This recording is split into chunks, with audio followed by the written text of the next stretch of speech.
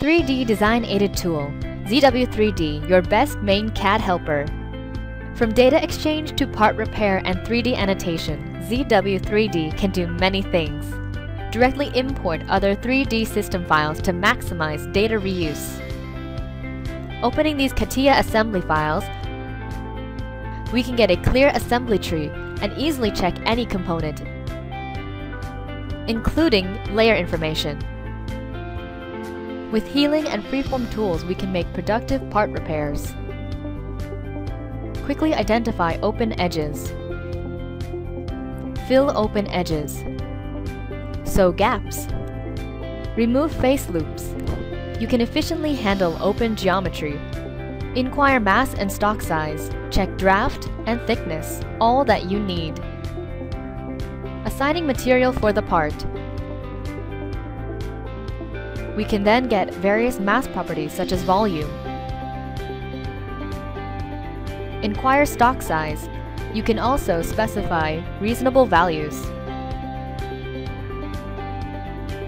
Checking draft and analysis thickness is an important part for verifying the product structure. We can dynamically acquire this information on a 3D part. With direct edit features, we can efficiently modify any model without history regeneration. Simple features. Add fillet or chamfer. Directly copy the feature to a new position. Modify feature size and change the geometry. Design modification becomes more flexible and productive. With PMI features, we can intuitively add dimensions and annotations on 3D entities. Traditional 2D information becomes more visual. Besides linear, angular, and radial dimension, coordinate, feature control symbol, and others both are provided. Also, these PMI can be inherited into 2D sheets. Visualized interference check and dynamic section view helps engineers verify the assembly will fit.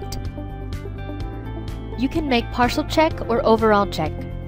Interference results can be recorded and displayed in red. Check section view is a dynamic method. You can observe more details. Also, you can get insert curves. File output also is a key point during the whole workflow. Besides some standard formats, ZW3D can be saved as a CATIA file and 3D PDF. With Adobe Reader, anyone can view the product. It's so convenient.